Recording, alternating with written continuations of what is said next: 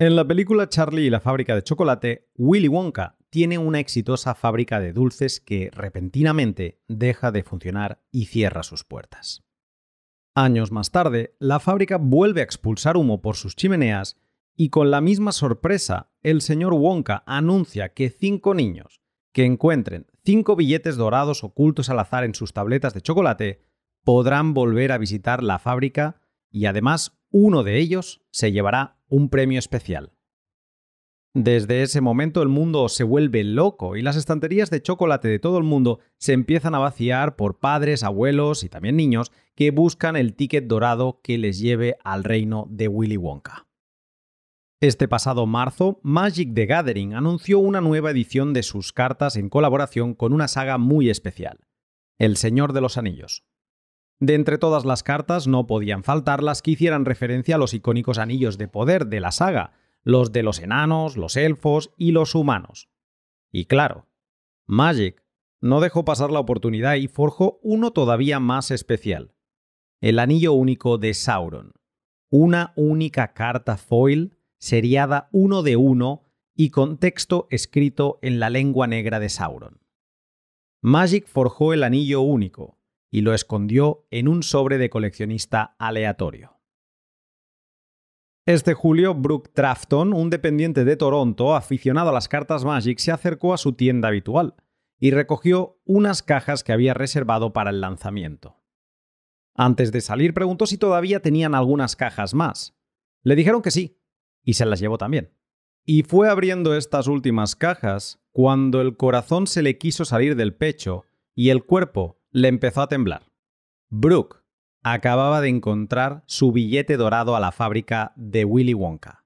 Post Malone, cantante de rap y entusiasta de Magic the Gathering, se puso en contacto con Brooke y le compró el anillo único por una cifra de 2,6 millones de dólares. Hola, ¿qué tal? Os habla Lunaticoin y bienvenidos a mi podcast.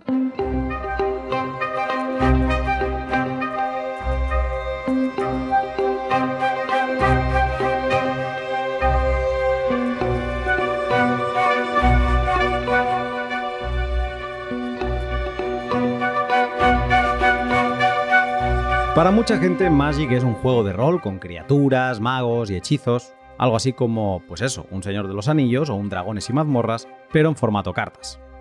Para otros, que se han animado a bajar la fascinante madriguera de su juego, también ha sido la introducción al dinero, el mercado y otros muchos aspectos económicos que, aunque no les sepan poner nombre, incluye cosas como la inflación, la liquidez, la teoría de la utilidad marginal, el coste de confiar en terceros, el coste de la verificación o la transferencia de riqueza. Por ello, en el podcast de hoy haremos una introducción al que ha sido el primer dinero duro para muchos jóvenes, buscando poner de relevancia los paralelismos entre la empresa productora de Magic, Wizards of the Coast, con los bancos centrales, las ventajas y desventajas con respecto a otros dineros duros como el oro o Bitcoin, y también exploraremos el lado inversor para saber qué cartas debemos conocer para poder ir acumulando piezas únicas y demandadas. Y para poder tratar todo este universo me acompañará Jorge Almeida, ex juez de Magic durante más de 15 años y propietario de Debian Magic Cards, tienda online con más de 130.000 cartas a la venta. Este podcast ha sido posible gracias a varios actores, pero hoy especialmente a una persona, que ella ya sabe quién es, con la que he estado batallando estos últimos meses para conseguir el invitado ideal. Muchas gracias por todo, señor. Y también, como no, a mis sponsors, a Hodel Hodel, Bitrefill, CoinKite y Minter, todas ellas empresas Bitcoin que están locas por apoyar podcasts como este y de las que te hablaré más tarde en un fragmento que he grabado específicamente para la ocasión. También muchas gracias a mis Patreons que ahora tienen todo el contenido bien ordenado en colecciones como la de entender Bitcoin desde cero, la de montar un nodo en Windows 10 o la criptografía 101 y también a todos los que me apoyáis practicando el valor por valor en plataformas como Fountain, Noster o Minter. El bus más grande que he recibido esta semana ha sido el de un anónimo, con 21.000 sats. Y el siguiente mensaje. Un año más, el podcast que más he escuchado. Gracias. Supongo que esto viene por el wrap que hace Spotify cada año. Bueno, pues muchísimas gracias por haberme permitido acompañarte en este 2023 y espero poder hacerlo también en 2024. Las cartas de Magic son un activo real al portador que cruza muy bien fronteras y que en sus primeras ediciones no ha dejado de apreciarse. En el pod de hoy encontraremos la excusa perfecta para desempolvar conceptos que nos descubrió Nick Szabo en sus escritos sobre coleccionables y que nos permitirán despertar el gusanillo inversor o coleccionista de piezas icónicas como el Black Lotus o el Power 9 de Alpha y Beta. Prepárate para un episodio muy especial. Sin más, te dejo con el pod.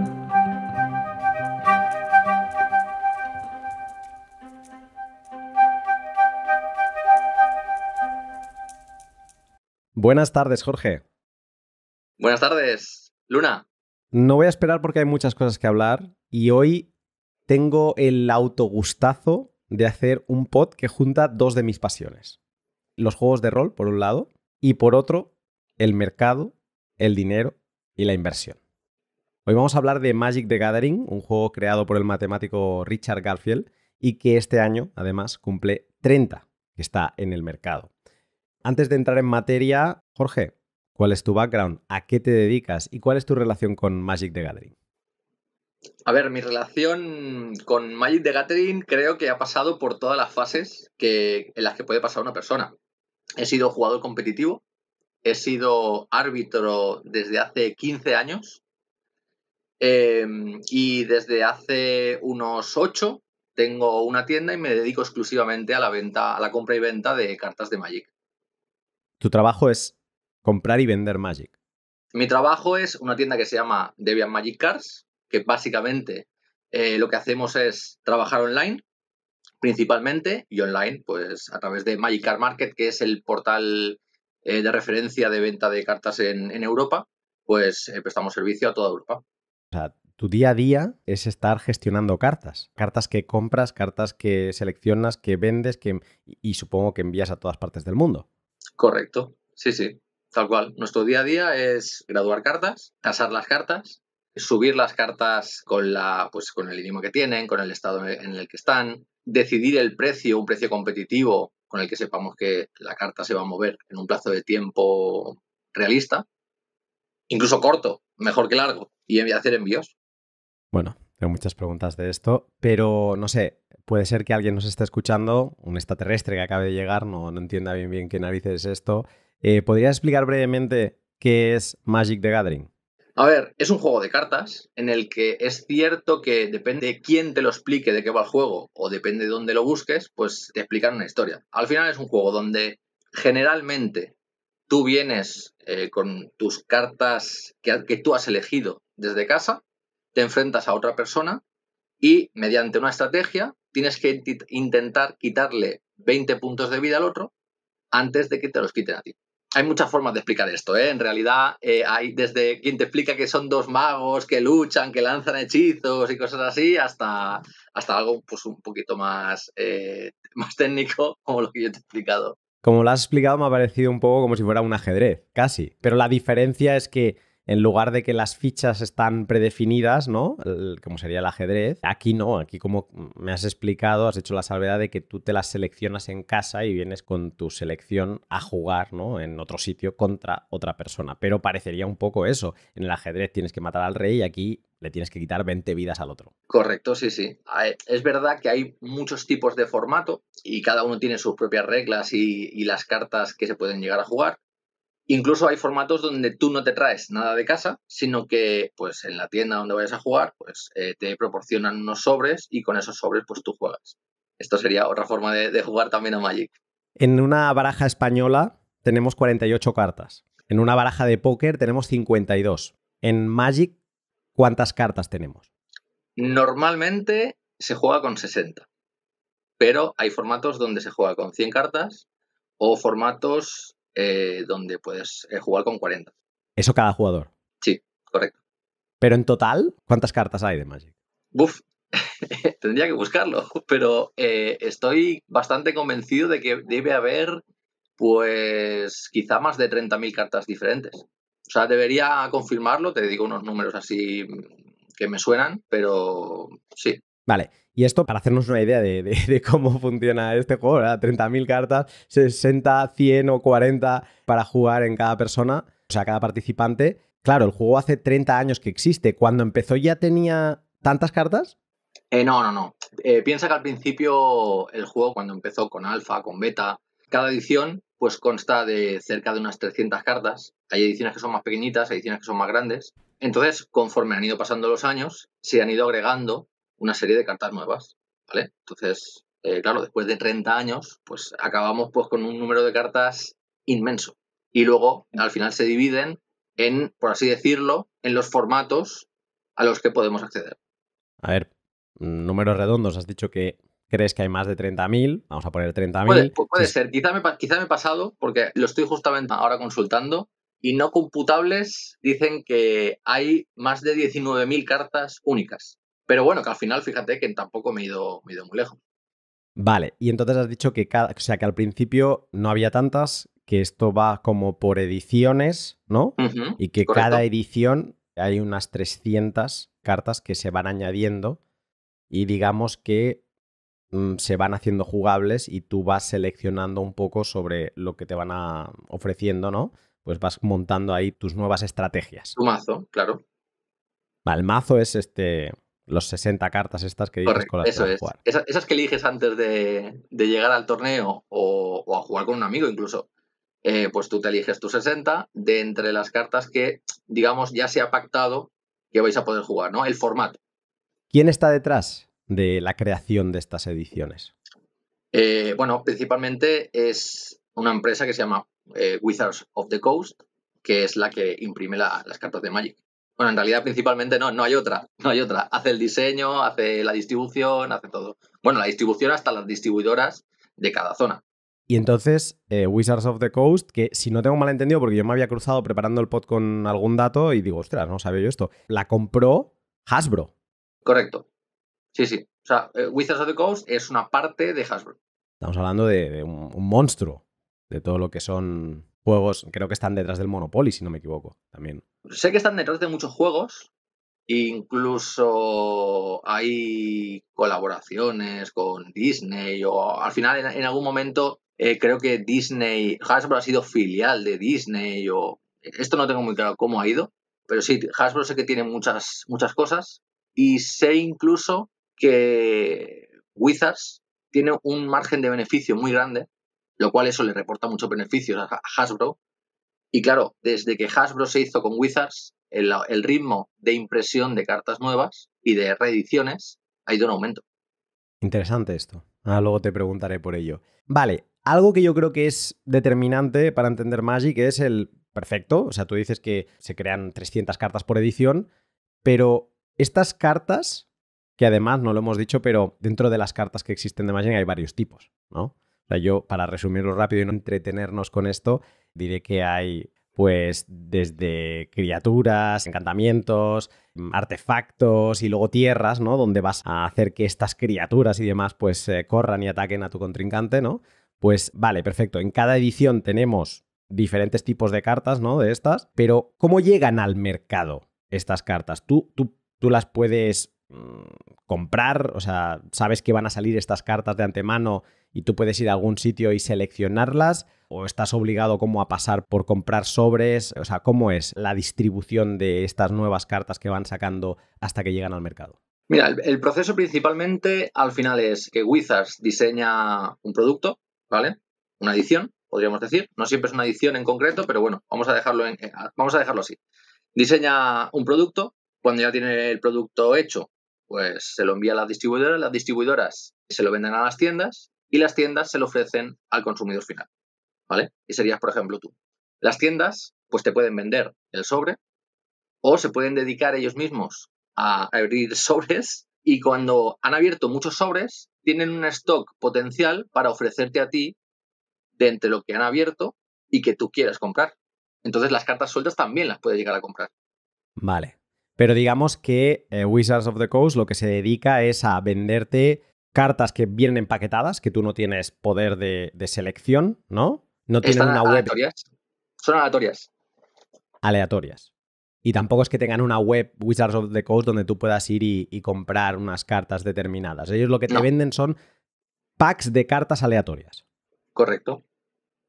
Entonces es en el mercado secundario, o sea, sería el, el mercado primario, ¿no? Es en el mercado Correcto. secundario donde tú sí que tienes opción de comprar unas cartas u otras. Eso es. Sí, sí. Vale. O Se las puedes comprar también directamente a la tienda, sin llegar a pasar por el mercado secundario, ¿no? Bueno, la tienda, si abre sobres, se está convirtiendo en parte en mercado secundario, porque está, digamos, como cargándose el riesgo de que le salgan cartas buenas o malas. Y bueno, esas cartas las ha pagado, esos sobres los ha pagado, poco, Sí, con sí. un descuento o sin, pero ¿no? Sería también mercado secundario. Sí, si no lo hace con descuento, mal negocio. Vale, es que aquí es donde quería llegar porque yo creo que es donde está la belleza y el magnetismo de Magic, porque aunque es un juego, también es un mercado. Y esta dualidad es la que engancha, porque crea muchos paralelismos con el dinero, que yo creo que son muy interesantes, y además es el mecanismo, no sé qué opinarás tú de esto, en, por el que muchos niños y jóvenes tienen su primer contacto con la economía de mercado. Pues muy probablemente sí. Yo al menos para mí fue así. Supongo que el proceso es jugar al Monopoly, a Magic y luego al mundo real. Yo, es que el hecho de este, ¿no? De que abras una- un sobre que tiene un valor y a partir de ahí las cartas, una vez lo has abierto, el valor ya cambia, ¿no? Puedes tener cartas que hagan que el sobre valga más que las cartas que tienes, ¿vale? O sea, que lo que has pagado por el sobre mm, sea más caro que el valor de las cartas que te vienen dentro.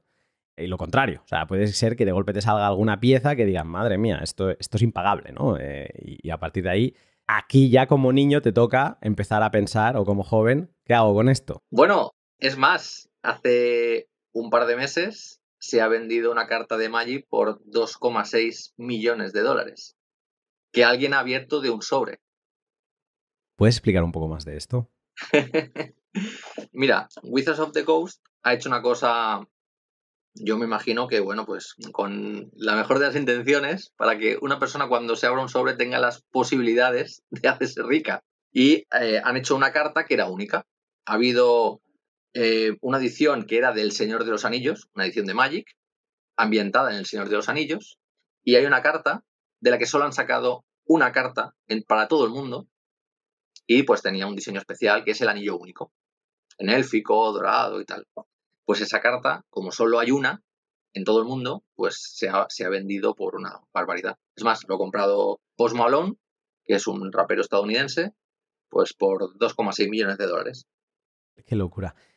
Claro, esto mm, me hace preguntarme, porque, o sea, el hecho de que en una misma edición, ¿no? Tengamos cartas que te puedan, pues, valer eso, ¿no? 2,6 millones de dólares.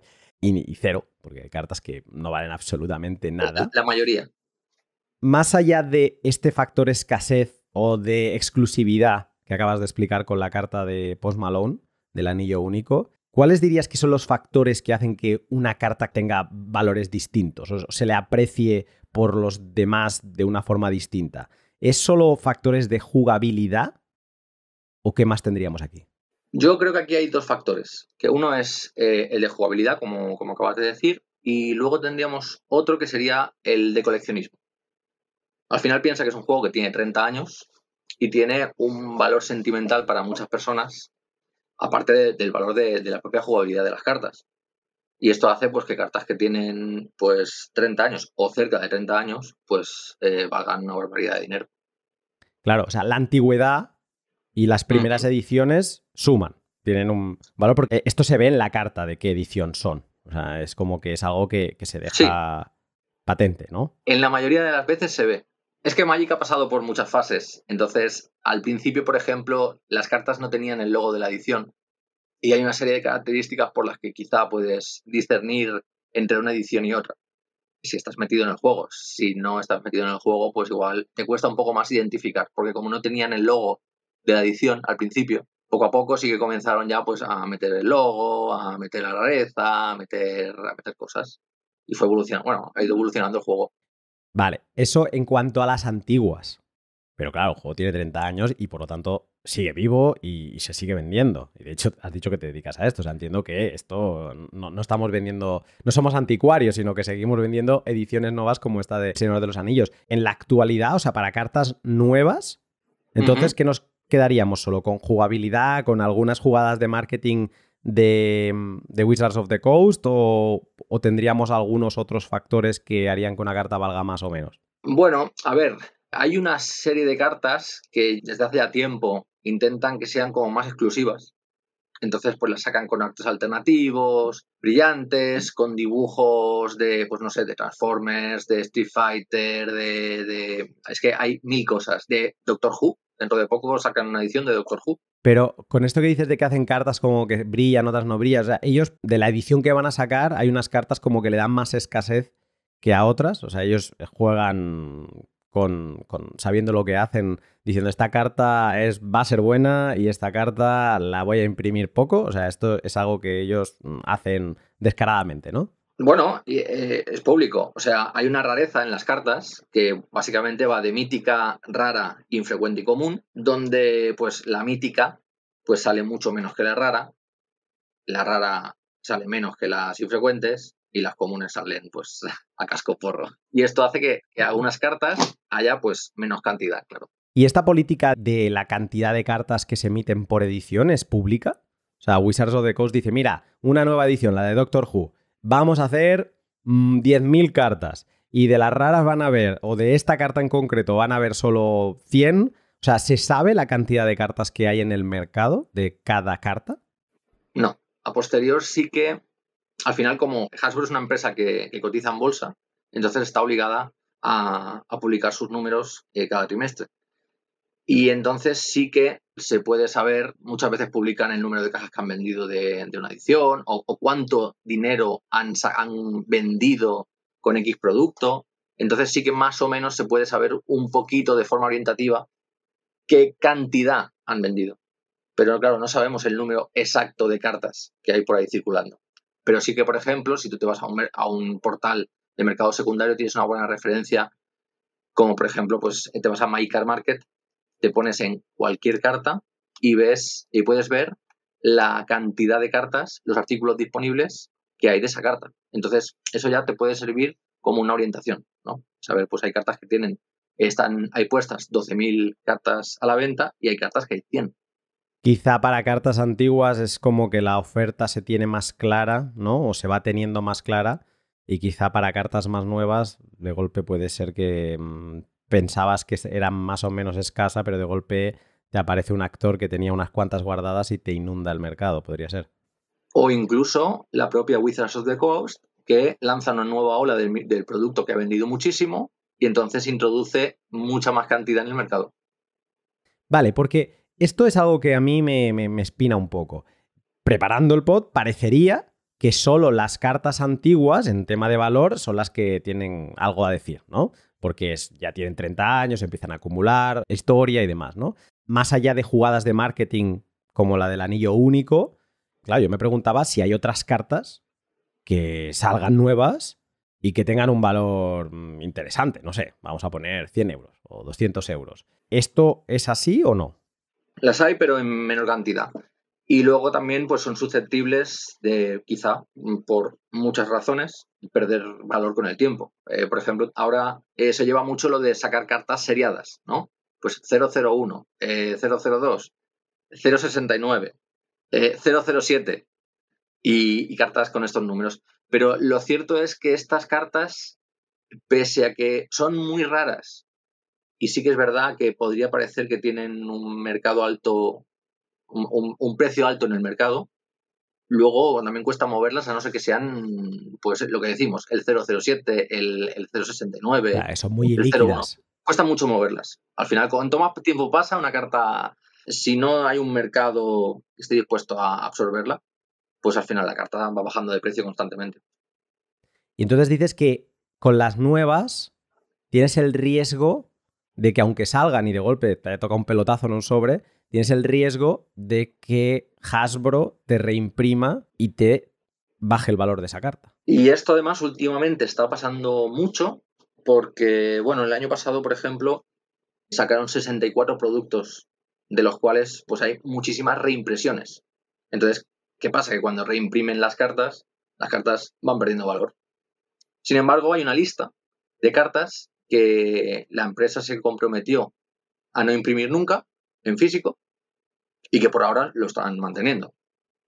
Me imagino que e, es algo que no, que es una línea roja que jamás pasarán porque me imagino que en Estados Unidos se los comerían a demandas.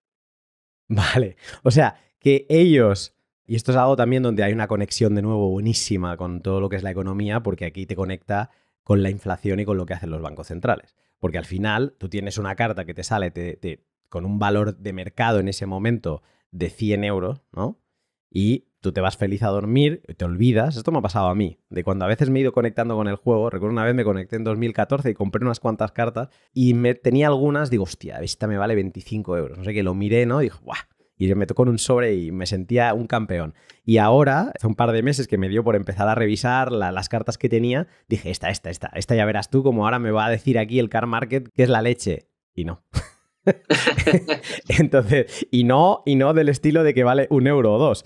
Entonces era como, hostia, ha perdido un 90% y se ha dado al suelo. Supongo que es de estas, ¿no? De que Hashbro, en este caso, bueno, Wizards of the Coast, ven una carta potente y dicen, bueno, espérate, que el mercado está evaluando una carta buena, la voy a ir siguiendo, o sea, la voy a poner en impresión en futuras ediciones, porque eso entiendo que les va a hacer vender más cajas nuevas y lo que está haciendo en verdad por detrás es una transferencia de riqueza de los que ya la tenían hacia ellos.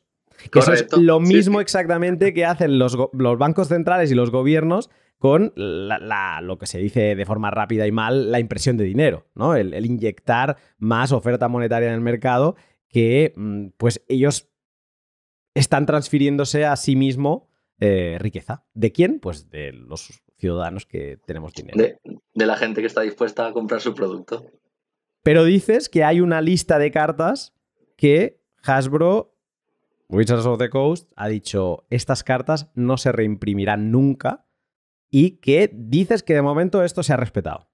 Sí, sí, sí. Y, yo creo que se seguirá respetando. Creo que al final es una línea roja muy... Yo creo que a día de hoy es poco discutible, ¿no? Aunque alguna vez hayan hecho alguna, alguna jugarreta un poco así, un poco extraña, como hace poco que han sacado unos proxies, que no son cartas, que son proxies de esas cartas emblemáticas que decían que no iban a reimprimir, pero no son cartas. Es que aquí hay un matiz importante. ¿Qué son? Son proxies. ¿Y qué es un proxy? es, una, es una carta, es, que ya, es un poco raro. Eh, es una carta que, bueno, no, es una carta, teóricamente no es una carta, pero está hecha del mismo material, de la misma forma, con un proceso un poco más moderno, lógicamente, eh, con la misma carta y alguna característica que le identifica como que esa carta no es jugable en torneos. O sea, no tiene la misma validez que tiene, que tiene una carta. Eh, ahora podrían imprimir una carta de alfa nueva, pero no sería una carta de alfa. ¿Sabes? Sería una carta reimpresa en una edición posterior, pues con un logo distinto, con unas características distintas. O sea, vale, ahora has introducido lo de los torneos. Eh, dices que estas cartas están como un poco saltándose por la puerta de atrás la regla de no imprimir, pero que te dicen que no las van a aceptar en torneos. O sea, las puedes jugar en tu casa, las puedes jugar en el barrio, pero si te vas a jugar un torneo con tus cartas, que entiendo que los torneos los deben gestionar ellos, o sea, debe haber como un circuito oficial. Mm, bueno, al final eh, los torneos históricamente em, a nivel profesional sí que lo, lo gestiona Wizards of the Coast. Eh, y luego había una serie de eventos eh, que también utilizaban para promocionar el juego a cualquier persona que quisiera acercarse a, jugar el evento, que eran los llamados Grand Prix. Pero con el tiempo, pues esto también ha ido cambiando y poco a poco se han ido ocupando ya otras empresas y el cariz pues ha ido cambiando un poco. Vale, pero digamos que ellos son los que dan el visto bueno de si esto es un torneo o esto no, ¿no? Y pueden, digamos, obligar a que se acepte o no se acepten ciertas cartas. Sí, y al final tienen, tienen poder de presión. Quien realmente hace la mayoría de torneos son las tiendas. Las tiendas suelen tener un espacio donde la gente va a jugar, hacen torneos de forma asidua y pues eh, claro, eh, las tiendas, que son las que venden los sobres y las cartas, pues claro, son las principales interesadas en que la gente juegue cartas y no proxies. Porque al final tú te podrías imprimir un proxy en tu casa e ir a jugar a la tienda. Pero entiendo que los proxies no es que te los imprimas tú, sino que se venden. Hay proxies que ha, impreso la propia empresa y bueno, luego te, pues, solamente puedes imprimir un proxy en tu casa o puedes comprarlo por internet, que hay empresas que se dedican a hacer proxies de alta calidad. Aquí nos podríamos meter en la derivada de cuán fácil es falsificar una carta de Magic y si hay falsificaciones. Llegaremos, llegaremos porque tengo una pregunta de eso, pero aquí lo que me sorprende es que la propia Hasbro se preste a ello. Eh, ¿Con qué finalidad? ¿qué, pretenden si ellos mismos lo están limitando? ¿Han sacado algún proxy de alguna carta muy conocida que más de uno se haya estirado un poco de los pelos o no? Vale, mira, imagínate, te, lo voy a, voy a, intentar aclararlo lo, mejor que, lo mejor que pueda, ¿vale? Imagínate que tú eres Wizards of the Coast, ¿vale? Yo soy Hasbro, te compro y entonces te digo, oye, mira, que hay que sacar más dinero. Y tú me dices, pues mira, es que resulta que tengo unas cartas que valen 30.000 euros, un trocito de cartón, pero es que me he comprometido a no imprimirlo. Y tú dices, ¿qué tienes qué? ¿Y qué haces qué con ello? pues esto es básicamente lo que ha ocurrido. Y entonces, yo me imagino que presionados por, Hasbro, para que consigan pues, más dinero, más pasta, que al final eh, las empresas estadounidenses pues eh, es para lo que están, o sea, no son ONGs, ¿no? Pues presiona a Wizards y Wizards pues intenta encontrar formas, digamos, para eh, no romper la regla, pero intentar sacar partido de ello. O sea, si tú tienes un producto que vale tantísimo dinero, vamos a intentar sacar dinero. Hace poco, para el 30 aniversario, sacaron unos sobres que valían 250 dólares cada uno, donde te, ponía, te podían salir proxies pues de cartas como el Power Nine de un Black Lotus, que es la carta como más icónica de, Magic, piezas del, Power Nine, eh, duals, cartas que valen mucho dinero, pero que ya, decían, no, no, cuidado, estos son proxies, no estamos reimprimiendo eh, nada que hayamos dicho que no íbamos a reimprimir, estamos haciendo otra cosa. Eh, ¿Y han tenido valor? O sea, ahora estos proxies, ¿el mercado los está valorando o no? Por ahora, yo sé que las ventas porque salieron números por ahí. No sé si serán del todo reales, porque al final ya sabemos que en Internet la información a veces es, es difícil de valorar si realmente es fidedigna o no. Pero el, yo lo que veo del mercado es que está teniendo muy poca aceptación y por lo que yo me enteré, sea verdad o no, parece ser que se estamparon bastante con la venta. Bueno, bien por ahí. Y ahora un momento para dos de mis sponsors, Hodel Hodel y Bitrefill. Hodel Hodel tiene una conexión indirecta con Magic y es que en Magic lo que predomina para el mercado de compra-venta de cartas son los intercambios entre particulares. En España el estándar es Magic Card Market y en Bitcoin el lugar de referencia es hodlhodl.com. ¿Por qué es interesante comprar en HODL y no en un exchange centralizado? Porque en HODL puedes comprar sin tener que dejar tus datos personales. Antes de empezar, defines la dirección donde quieres recibir los satoshis que estás apilando y una vez terminado el proceso, estos viajarán directamente a tu wallet. Autocustodia por defecto y sin caice si compras de un vendedor que no te lo pida. Así que si quieres apilar Bitcoin con superpoderes, el lugar donde empezar es siguiendo el link de la descripción y yendo a hodlhodl.com. Y Bitrefill, la web en la que cuando lo desees podrás canjear algunos de tus Bitcoin por multitud de servicios como Zara, Ikea, Carrefour, Dia o Cepsa. Esa es una de las ventajas de Bitcoin sobre algo como Magic. Cada carta Magic tiene su propio precio y mercado y no existe tal cosa como fungibilidad. Cuando se quiere liquidar una carta, se ha de buscar un comprador en sitios como Magic Card Market y esperar a poder recibir Dirty Fiat para poder comprar lo que necesites. En Bitcoin no. Gracias a Bitrefill visitas su web, escoges el producto que necesites, seleccionas la cantidad en euros que quieres comprar y acto seguido pagas en Bitcoin de capa 1 o 2, la conocida como redlining. Así de fácil. Compra todo lo que necesites pagando con Bitcoin en Bitrefill. Y si no conoces su catálogo, no esperes más. Sigue el link de la descripción y sorpréndete ha sacado a pasear un nombre que para mí, o sea, si yo estoy caminando por una ciudad de cualquier país del mundo, si alguien lo menciona, yo me giro y miro quién lo ha dicho. Black dicho Lotus. Black Lotus. ¿Vale? Esto es, ha llegado a la categoría de legendario en el imaginario de muchas de nuestras personas. Black Lotus es una carta de, de alfa, ¿no? Eh, creo, o sea, la primera apareció por primera vez en alfa. La primera vez, sí. Que antes hablabas de esta otra que ha salido ahora muy nueva, ¿no? Que es la del anillo, que también supongo que será muy conocida en un futuro. Pero la, la carta, yo diría que más conocida de Magic de siempre ha sido la Black Lotus por su. por el valor que ha tenido en el mercado desde siempre. O sea, yo empecé pronto en, en Magic y desde el inicio yo recuerdo que siempre se hablaba de Black Lotus. ¿Qué precio tiene un Black Lotus a día de hoy? Pues eh, depende de la edición pero mira, yo te puedo poner varios ejemplos. No, al final hay Black Lotus, principalmente hay de, tres ediciones, que es Alpha, Beta y Unlimited.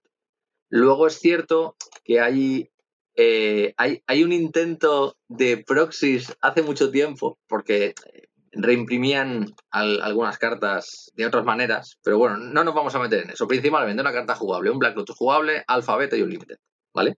vale. Eh, ¿Qué precio puede tener el de Unlimited? Más o menos en buen estado. Pues si buscas por internet, pues mm, de forma más o menos sencilla los encuentras por 18.000 euros en un estado aceptable. Que es la peor edición de las tres. Sí, sí, claro, es la más barata. Porque el borde es blanco, las otras son en, borde negro. Esa más barata. Y de alfa, que supongo que debe ser la más cara que la primera, ¿no? De alfa, ten en cuenta que además, yo te puedo decir, yo te puedo decir, pues mira, en el mercado hay una carta por 117.000 euros. Pero, mm, ¿es el valor real de mercado esto? Yo sé que está puesta a la venta. Ahora mismo tú te puedes meter en MyCar Market, mirar Black Lotus de Alpha y ver que hay una carta por 117.000 euros. En un estado aceptable, un buen estado. Luego, si te quieres ir a, estados, porque luego, luego aquí hay otra cosa importante, que es el estado de la carta, en qué estado de conservación se encuentra la carta. Luego nos podemos encontrar también cartas que están pues casi casi masticadas por el perro por 56.000 euros. Masticadas por el perro, ¿eh?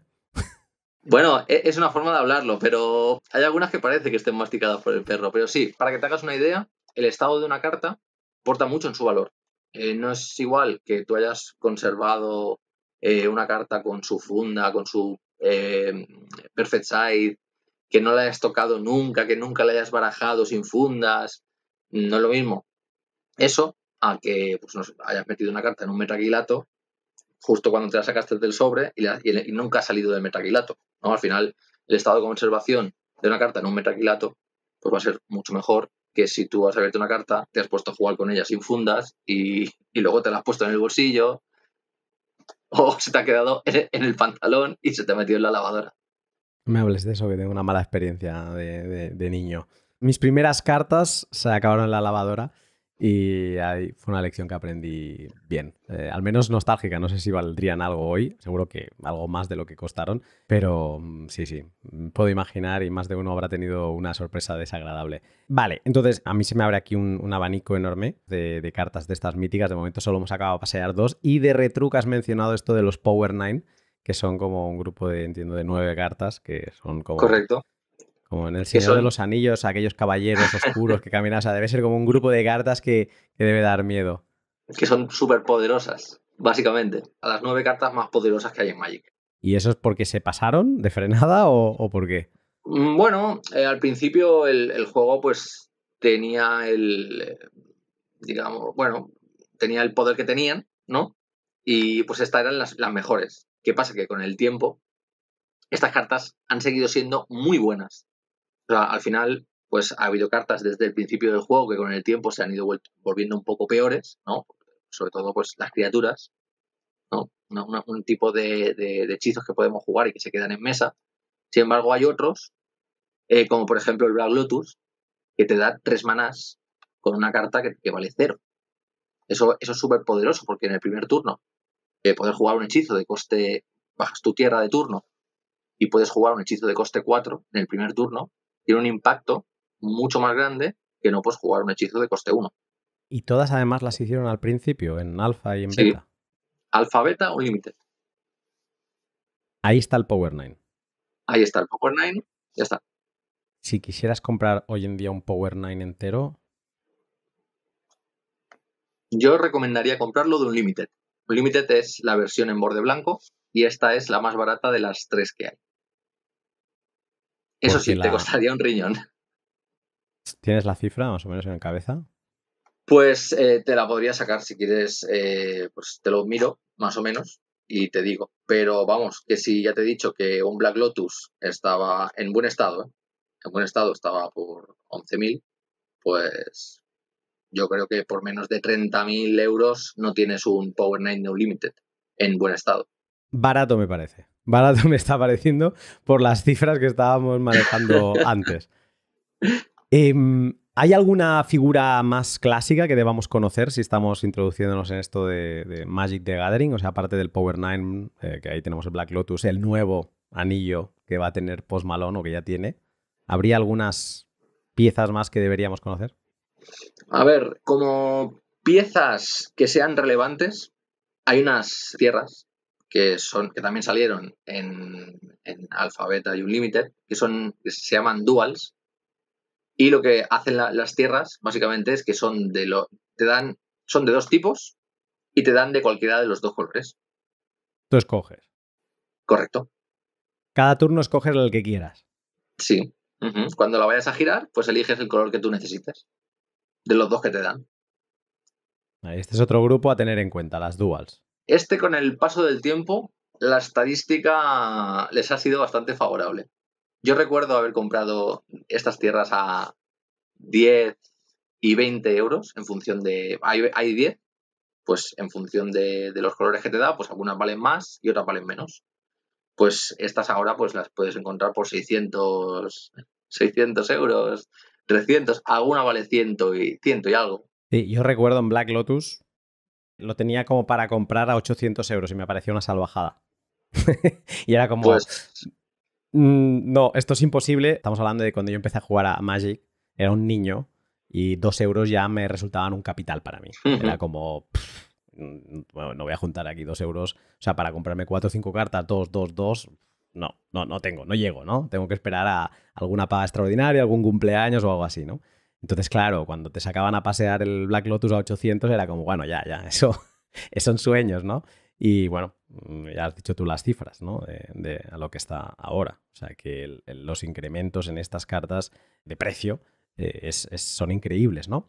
Y de hecho, a través del valor que le damos a las copias antiguas de gran calidad, ¿no? Lo que decías tú, no es lo mismo una que esté masticada por el perro a una que tenga. que esté conservada bien.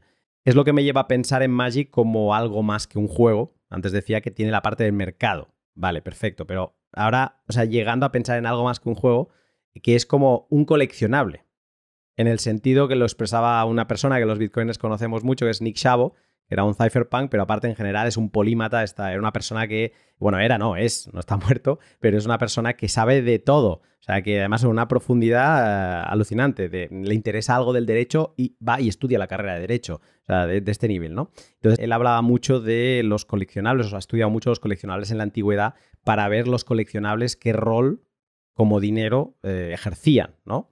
Y de hecho, esto te va a gustar, él define a los coleccionables de la antigüedad, estamos hablando de paleolítico y neolítico, y antes, los define como artefactos de riqueza, ¿vale? Porque él dice que hay como, o sea, en esa época como que podíamos distinguir cuatro tipos de objetos, que estaba el dinero, que esto los bitcoins lo, les sonarán más los términos, que él, lo define como un medio de intercambio de alta velocidad. Eso es lo que se utiliza para intercambiar cosas, pero que se utiliza muchas veces, se cambia muchas veces a lo largo del día o de la semana, Y que como se intercambia muchas veces, pues al final todo se acaba midiendo en base a ese objeto, que es la unidad de cuenta, ¿vale? Luego vendrían los coleccionables, que también son medio de intercambio, pero de baja velocidad.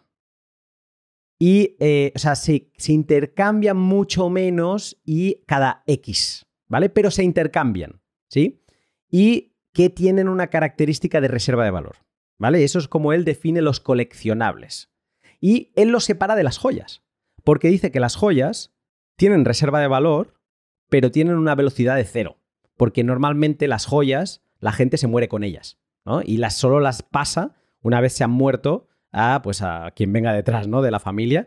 Y bueno, más allá de que lo tengas que empeñar porque te ves obligado, sí que es verdad que cuando tú compras un anillo, una joya, algo de oro, o sea, no pretendes venderlo mañana, ¿no? Por necesidad. Otra cosa es inversión en monedas de oro y tal. Es otra cosa, ¿vale?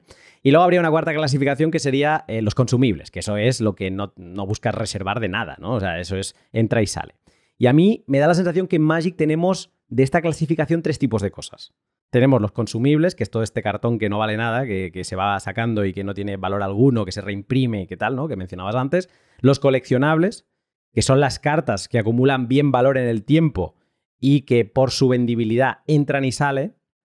Y yo creo que también podríamos decir que hay joyas, como podría ser, pues esto, la carta única o eh, un Black Lotus que si tienes dinero para costearte seguridad, yo me imagino que Post Malone se la puede colgar en su casa eh, y, tenerlo ahí como si quien comprase un Picasso, ¿no? Un, cuadro y, poderlo exponer, ¿no? Entonces ya llega a ese punto de, sí, a lo mejor se acaban intercambiando en algún momento, pero se parecen más a joyas que no a coleccionables.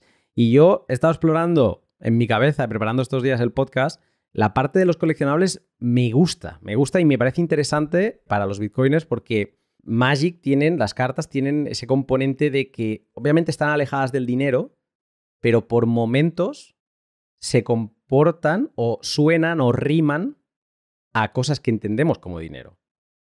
Y aquí tengo tres puntos que me gustaría comentar contigo. El primero es, tú decías antes que has sido juez oficial de Magic. Sí. Vale. Durante 15 años. Casi nada. Em, Se dice rápido. ¿Es cierto lo que me han contado que a los jueces se les paga con cartas de Magic? No siempre, pero eh, históricamente ha habido una época en la que en eventos grandes a los jueces se nos pagaba con cartas que eran especiales, hechas solo para, para jueces, y con cajas. Cajas de sobres. O sea que tú después te costeabas el viaje porque sabías que llegabas con eso, liquidabas alguna parte y te pagabas esto y te quedabas servido. O sea, tu salario era en especie. Efectivamente, sí, sí. Aquí ya sé que hay gente que me escucha que es muy técnica en temas de dinero y sí que es verdad que no es dinero, pero bueno, se cancelaban deudas se cancelaban deudas, ¿no? O sea, tú aceptabas ir a hacer un trabajo, por lo tanto ellos tenían una deuda contigo y tú aceptabas que se cancelase esa deuda porque te pagaban en especie. Ellos imprimían el dinero con el que me pagaban. Es lo que quieres Eso decir. es increíble. bueno, eso es otra. Esa es la, la otra vertiente. El darse cuenta de que ellos tienen una máquina de imprimir. Sí, la tienen. Es más, me consta que Wizards of the Coast es una de las empresas con los mayores márgenes después de impuestos que existen ahora mismo. Es que claro, ellos venden cartón. Sí, cartón caro. Porque bueno, eh, que vendan cartón y que luego con ese cartón alguien pueda vender, y ya no, ya no hablamos de, anillos únicos, hablamos de cartas de 100 euros, de 200, de, de 50. Muy loco esto. ¿eh? Pero es tan loco si ves el paralelismo es, que es directo, que hay una gente que imprime un papel de color verde y de colores, depende de dónde vivas, le pone un número en función del número que le ponga encima, que se parece mucho como, no, esta carta, en lugar de no sé qué, le voy a poner Black Lotus, ¿vale? Pues en lugar de ponerle un 1, le ponen un 100 o le ponen un 500. Y de golpe ese papelito vale más que el otro papelito. o, tiene un poder de compra mayor que el otro papelito. Efectivamente. O sea que la parte de estas definiciones que daba Nick Chabot del coleccionable, que también es un medio de intercambio, con no tanta velocidad, pero lo es, de momento, por este lado, yo cuando me lo explicaban decía, hostia, es que esto es increíble. O sea, que hubiese gente que por el, la, el conocimiento que se tiene en común de todos los jugadores, del valor que tienen, o sea, el valor que le pone toda la gente a las cartas, que acepten cobrar en eso porque saben que les va a poder permitir costearse en otra divisa, en este caso en euros o en dólares, el viaje eh, y encima ganar. Ganar. Eh, el viaje, la estancia, eh, comer, cenar, beber. Y luego hay otro de los puntos que sobre esto, y es que, claro, estamos hablando de cartas, las cartas de, de Magic pueden acumular mucho valor. algunas de ellas, ¿no? Y si te juntas unas 3, 4, 5, o sea, en tu caso, por ejemplo. lo han acumulado. Históricamente esto ha sido así. El, ejemplo lo poníamos antes, ¿no? Cartas que hemos comprado hace 15 años eh, por 20 euros y ahora valen 500. Em, la pregunta es, cuando tú cruzas una frontera, hay un límite de efectivo que puedes cruzar, ¿no? Puedes pasar máximo 10.000. Y es más, luego también te pueden estar revisando cosas y si, si entre otras cosas llegas al valor de 10.000 es pues te deberías haber pasado por, por, el lado de algo que declarar, ¿no? Y tú te has ido por el lado verde de nada que declarar y ahí es donde amablemente te van a explicar que vas a tener una multa y depende de lo que sea, a lo mejor esa noche no duermes en el hotel, ¿no? Claro, en el caso de Magic, un juego que mucha gente ve como un juego de niños. Es cartón. Es cartón. Bueno, el otro es papel, ¿eh? Ojo. es verdad, es verdad. Esto es, esto es siempre curioso. Hemos llegado aquí a, una, a un buen paralelismo, ¿eh? Un momento de una buena comparación. Vale, es cartón y no lo miran, pero es que es eso. O sea, tú le podrías tener tres o cinco Black Lotus, se los metes ahí en la baraja. Yo, yo, lo he llevado. Yo he cruzado el charco ya muchas veces eh, con, quizá no Black Lotus, pero cartas de 500, 600 euros y unas cuantas en, en álbumes y en barajas. Un dato interesante que se suma al tercer punto y es que una de las gracias de Magic es que es como reconocido en todo el mundo y entiendo que tú puedes despegar de aquí con pues ciertas cartas, ¿no? Que tengan, que sean vendibles, que te las vayan a aceptar, que tengan liquidez, y irte a Japón y saber que si te quedas corto, o incluso que puedes ir con esa previsión, ¿no? De decir, no, mira, llevo 100 euros en el bolsillo, pero cuando llegue allí me voy a ir a ciertos sitios y me voy a plantar con 10.000 euros, si hace falta, ¿no? O con lo que a ti te apetezca tener ahí. O sea, es una forma, o sea, el mercado global que tiene hace a las Magic una forma de transportar valor sin que se vea, ¿no? Y, y teniendo puntos de venta que te lo hacen fácil. Sí, sí, sí, desde luego. Y además incluso luego puedes jugar con los diferentes mercados que existen. Al final cada mercado no tiene exactamente los mismos valores. Eh, aquí una carta que mm, en Europa yo pueda vender por 300, igual en Estados Unidos me la compran por 400. Hay arbitraje. Bueno, hay una diferencia de mercados y entonces eh, con esa diferencia pues eh, hay quien juega. ¿Hay gente que vive de esto? ¿Hay gente que vive viajando, comprando aquí, vendiendo allí? Sí, desde el COVID igual se, le ha complicado un poco más el, tema, pero, pero esto ha llegado pasando desde hace muchos años. Sí. Yo lo he hecho, tengo que decir que yo lo he hecho ya varias veces. Magic tiene unas cosas fascinantes, tengo algunas preguntas más adelante sobre esto, pero es, es el, tema de que a veces el Bitcoin está muy obsesionado con que no nos controlen. ¿vale? O sea, eh, somos muy conscientes de que hay muchas formas de riqueza, pero hay pocas que mm, se escapen a los ojos de esta gran máquina que cada vez quieren saber más, cada vez te fiscalizan más, ¿no? Y mm, me parece muy interesante que algunas cartas de Magic, bueno, Magic en general, pero hay unas que no valen nada, pero las cartas son como una riqueza al portador. Hay riqueza que a veces es un activo financiero, donde dependes de que una tercera persona te respete la propiedad de una acción o incluso en un, solar, ¿no? La gente que invierte en España les encanta el ladrillo. Eh, bueno, pues aquí eh, necesitas un notario, necesitas entrar en un registro de la propiedad, necesitas que muchas gente, eh, que muchas personas, que muchos actores te den el ok, ¿no? Mientras que aquí necesitas a alguien que te lo venda y en tu mano tienes el activo. Es como antiguamente cuando se compraba una acción y te daban el título de la acción. Hablo de años y años, ¿eh? Ahora no, ahora estás por brokers, no sé qué, pero la posibilidad de tener al portador lo que se sustenta su valor, eso es muy interesante. Claro, todo esto te va calando en la cabeza y además, habiendo jugado, pues es como más fácil.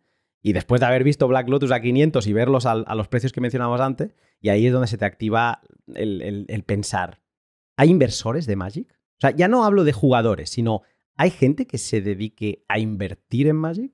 Bueno, yo creo que cualquier persona que haya visto la tendencia, como poco, habrá, estado tentado en algún momento a decir, uy, yo esta carta creo que con el paso del tiempo va a valer más dinero. Y a nivel profesional también sabemos que hay gente que se ha, metido a invertir dinero porque ha visto un valor refugio en, ciertas cartas. ¿Tú tratas con clientes así? O sea, tú tienes clientes que te vienen y te dicen, mira, eh, me da igual, como si se llama la carta el mago de Oz o...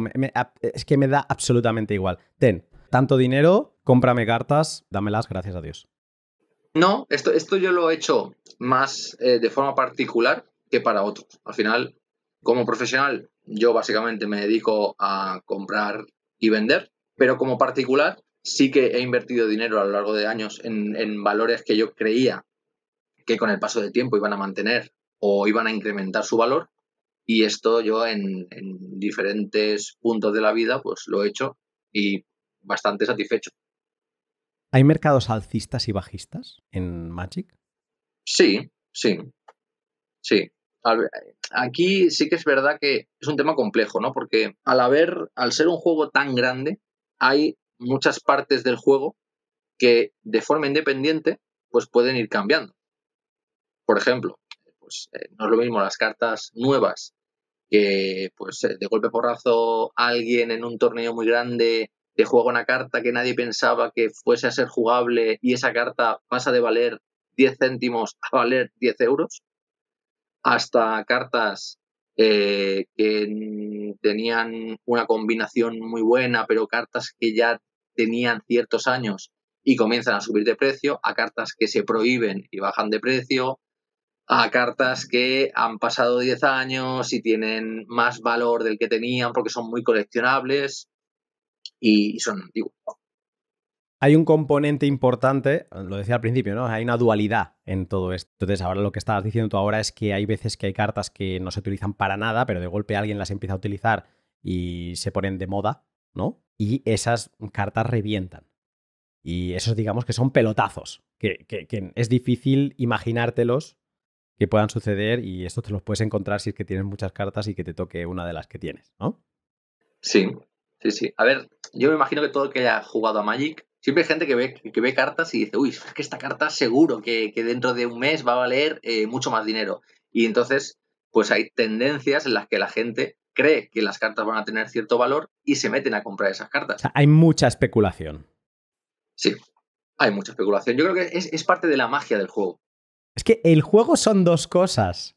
El juego es lo que pasa encima en el tablero, vamos, para que nos entendamos, y el juego es lo que pasa fuera del tablero en, el, en este mercado. O sea, es que esta dualidad Es, un enganche total. Es, eh, vamos, no sé si hay un gen que tenemos algunos, pero yo recuerdo que es de las cosas que me enganchaba el saber, y además que te venía el típico amigo que tenía un poco más de capital y te venía pues con cartas más buenas y, tenías como ese deseo de tenerlas, que luego me acuerdo en mi segunda época que tuve, que ya tenía veintipocos, y, y ahí vas con, con el billete porque te necesitabas quitarte la espinita, ¿no? De decir, no, ahora quiero jugar con un mazo que no me esté machacando porque es un, mazo de necesidad, ¿no? Es, ahora quiero un mazo que, que, sea mi nivel de jugador el que me permita ganar o no ganar, ¿no? Y eso es algo que también te cala, ¿eh? Y supongo que hay mucho comprador ahora de Magic que viene de esa época y no se lo podía permitir y la nostalgia te mata y vienes y compras de compras impulsivas. Bueno, y, muchos jugadores eh, de estos, pues como tú y como yo, pues que han pasado los años, ahora ya tienen cierto poder adquisitivo y ahora ya, pues si se tienen que comprar cartas que valgan 200 euros, pues se las compran, aunque sean cuatro. hasta, eh, conozco algunos que se montan hasta tiendas y todo, ¿eh? alguno, alguno hay, alguno hay. Eh, yo, a mí, soy sincero, tengo algunas cartas, ahora te estaba enseñando que estaba aquí curioseando porque me encanta tocarlas, me encanta verlas. Hay algunos dibujos que mm, me tienen locos. Yo me acuerdo, de, son de mi época, todo lo que son los rack, cuando veía estos muñequitos amarillos que los destrozaban siempre máquina y tal, eso a mí me, encanta, ¿no? O sea, me, me lleva a ciertos momentos y me gusta ver los dibujos, pero yo tengo miedos en la tesis inversora, ¿vale? Y te voy a explicar por qué. Em, de hecho, el mismo Chavo que te mencionaba antes dice que para que algo fuera un coleccionable había varias características, pero una era como tiene que tener esta característica impepinable, ¿vale? Y esa característica, traducida al, al, castellano, es un coste infalsificable. O sea, que esa carta tenga un coste en sí misma, que coste de producirla X, ¿no? Y que, digamos, que eso no, se puede falsificar, ¿no? En inglés es unforgeable costliness. Claro, esto lo venimos hablando ahora, ¿no? Es cartón, es cartón impreso, ¿vale? Y aquí hay tres puntos que me preocupan. Te lo voy a exponer a ver qué me dices. Primero, es algo que ya has dicho y que no me deja tranquilo, y es el apetito de Hasbro, ¿vale? Que, que parece que no, no tiene suficiente, que todo va a más, ¿no? Y que ahora decías que en el último año han habido cuántos productos? 64, 64 productos. ¿Eso en ediciones a qué se resumen? ¿Cuántas ediciones pueden haber habido? Ediciones como tal, Wizards define que hay cuatro al año, que además impactan en estándar, que es el formato como más pequeño, ¿no? Pero luego hay una serie de productos paralelos, pues que están orientados al jugador que juega otro formato que se llama Commander. Bueno, de este hay, como cinco o seis al año.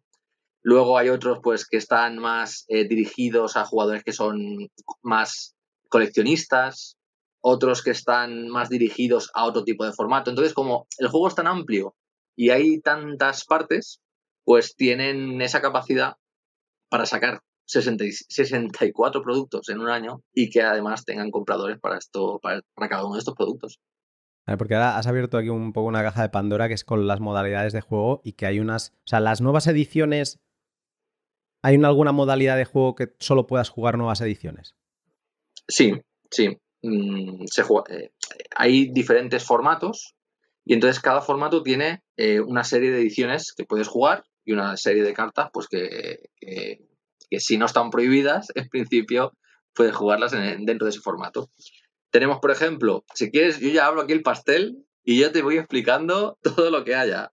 y me quedo aquí un buen rato, ¿eh? O sea, a mí, a mí lo que me interesa, porque, y te explico el por qué te he hecho esta pregunta, es porque he visto que de golpe cartas que entran o salen de una modalidad, pues lo que decías tú antes, ¿no? Que cambian de precio, ¿no? Y esto a mí me preocupa. Sí, eh, a ver, en general, eh, claro, eh, yo creo que el, o sea, si nos vamos por la línea de, de por qué las cartas pierden valor, mm, yo más que el hecho de que las cartas dejen de poder jugarse en un formato en concreto, porque igual ya les ha pasado el tiempo, ¿no? Porque hay, formatos como por ejemplo estándar, que es el, más pequeño, que ahora actúa, hasta hace poco rotaba cada, cada dos años, se iban, se iban las eh, cuatro últimas ediciones, se iban y se iban añadiendo, pues como cada tres meses eh, va apareciendo una edición nueva, pues cuando llegaba octubre, ¡pam! Quitamos las últimas cuatro y a partir de ahora pues solo se puede jugar con, la, con las que quedan. Y entonces se van sumando ediciones y al siguiente octubre pues volvía a rotar. Ahora es cada tres años, pero ¿qué es lo que pasa? Que claro, lógicamente las cartas cuando dejan ese formato, si ya no encuentran otro formato donde jugarse, las cartas pierden valor. Esto es un punto. Porque digamos, entiendo que hay formatos, tú hablas del formato más pequeño, que es como el más restrictivo de, en edad. Es estándar. Y luego los otros formatos, para no tener que entrar en detalle en cada uno de ellos, supongo que van ampliando edad de cartas que están permitidas. Y debe haber uno que te debe permitir todas. Efectivamente, hay, dos, hay, bueno, hay, tres en con... Bueno, hay, bastantes, hay bastantes. Pero sí, sí, es que, es que claro, es un juego de 30 años, es que han inventado muchas cosas. Mira, principalmente yo te podría decir que eh, tenemos Vintage, es un formato donde tú puedes eh, jugar cualquier carta de Magic, cualquier carta, la que sea, pero hay una serie de cartas que están limitadas a uno. Vale. Por ejemplo, un Black Lotus. No puedes jugar cuatro Black Lotus, solo puedes jugar uno. Y luego hay un montón de cartas más de las que solo puedes jugar una porque tienen un impacto muy grande en el juego y serían. Son muy, buenas. Correcto, eso es. Bueno, por ejemplo, el Power Nine. El Power Nine solo se puede jugar una, una de cada. Luego tenemos un formato que también incluye todas las ediciones de Magic, que se llama Legacy, pero tiene una serie de cartas prohibidas que no se pueden jugar. Aquí quizá no, hemos dicho en ningún momento que normalmente el máximo de cartas que se pueden jugar en un mazo son cuatro, de una copia. De la misma carta. De la misma carta, puedes jugar con, un máximo de cuatro. En la mayoría de formatos. Vale. Menos si están, restringidas, como decías ahora, en algunas. Eh, claro, Normalmente las cartas están prohibidas. Solo en Vintage están restringidas. Digamos que es una forma de que, de que todas las cartas de Magic en algún momento se puedan jugar. Eh, o en algún formato. Tengan algún nicho en el que la gente pueda disfrutar de ellas. Vale. O sea, es una, forma bonita de decir, eh, un eufemismo de decir eh, que tengas un sitio donde jugar a pesar de nuestro apetito de seguir imprimiendo. Correcto, correcto, correcto. Vale. Y, y esto de las eh, ya que lo has sacado, porque vale, o sea, el vintage sería como el más amplio, el, que tiene el espectro más ancho. Mm, sí, porque como no tiene prohibidas, podrías jugar cualquier carta, aunque fuese solo una. Vale, pero aún así leía y esto me parecía bastante interesante con el mundo en el que nos está tocando vivir últimamente, que también hay cartas prohibidas y prohibidas por razones de, de racismo, por ejemplo, de que el dibujo pues expresaba cosas de antes, no sé qué, que ahora ya no es políticamente correcto y que de hecho pues hay cartas que supongo que incluso en vintage no las deben dejar, ¿no? O sea, debe haber cartas que eh, están baneadas. Teóricamente eh, no se pueden jugar en torneos una serie de cartas eh, que tienen dibujos que son racistas. Teóricamente. Es que esto también es una cultura como muy americana, ¿no?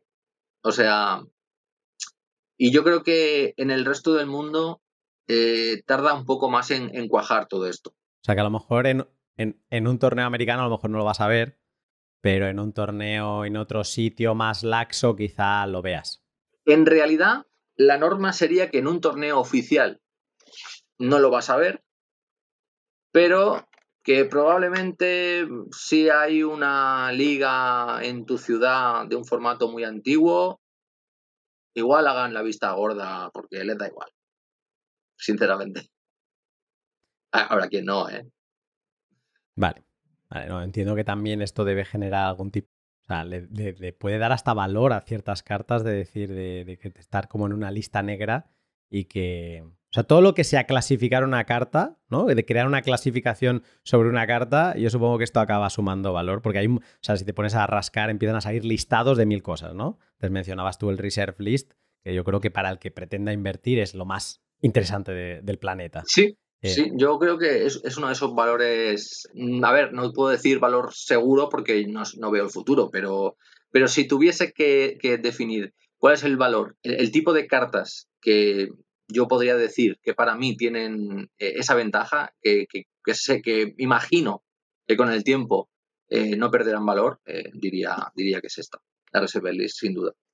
O sea que esta preocupación que yo puedo tener del apetito de Hasbro está ahí, pero mm, lo podríamos medio matar si nos vamos a centrar en ese tipo de cartas de Reserve List. ¿La Reserve List sigue incluyendo, o sea, cartas nuevas que se emiten en 2023? No. No, me parece el, anillo, el anillo único supongo que sí. Eh, bueno, es que el anillo único no es que esté en la Reserve List. O sea, anillos únicos, tú puedes comprar sobres del, Señor de los Anillos, de la colección esta del Señor de los Anillos, y, obtener un anillo único. Porque hay muchos anillos únicos, pero no hay este anillo único. Ese anillo único con esas características, eh, con ese tipo de brillo, con esa textura, solo hay uno. Pero luego está el anillo único, la carta genérica, que, es diferente, ya, ya, se ve a simple vista que es diferente, que está así. Además, es una carta muy popular que actualmente se juega mucho y que te vale 60 euros. Vale, o sea que, que conociendo a Hasbro, de estas harán reimpresiones. ¿no? Seguro, seguro. Hombre, aquí hay, aquí hay pastel. Aquí, hay, aquí hay donde comer. Vale, ¿y desde cuándo dices que no se añaden más cartas a la Reserve List? Creo que desde 2005. O sea, te lo, puedo mirar. Además, lo bueno que tiene esto es que te estás yendo seguramente a una modalidad, o sea, que todas las cartas que están en la reserve list o las debes jugar en alguna modalidad de estas de cartas antiguas o no la juegas. Y por lo tanto, es como que, que te quiten una de estas cartas de una modalidad ya tampoco te va a pasar. O sea, que es que la reserve list es atractiva también por esto, porque mm, para los que quieran jugar en vintage y en alguno más de estos, en legacy y tal. O sea, que ya incluso te estás no tienes miedo de que le pase algo en, jugabilidad. Mira, te puedo decir además que, mira, eh, por lo que estoy viendo, eh, la primera eh, publicación de Reserve List que hizo Wizards fue en 1996. Luego hizo, hizo un, añadido de cartas en el 2002 y en el 2010, ya yo me he ido unos cuantos años, fue el último que hizo. Y yo ya creo que, ah, bueno, creo, ya me jugaría el pellejo a que ya no van a añadir más cartas nunca más. Yo de este, de este punto, eh, digamos que, bueno, como le veo, le sigo viendo el lado inversor, pero eh, no me metería, no tocaría nada nuevo y eh, solo me iría, digamos, a estas antigüedades, ¿no? Y sé que hay una empresa de Estados Unidos, Troll Toad, no sé si, bueno, supongo que claro que sí, que parecería si no estoy equivocado, que ha venido a decir que envía a pastar a Magic the Gathering porque está harta de, de, esta, de esta, estas ganas de impresión locas que tienen en Hasbro de, seguir aumentando productos y que ellos se van a, otras cosas que tienen más demanda ahora. ¿Esto es así o me lo he inventado? A ver, em, yo he leído el comunicado de, de y tengo mis ideas.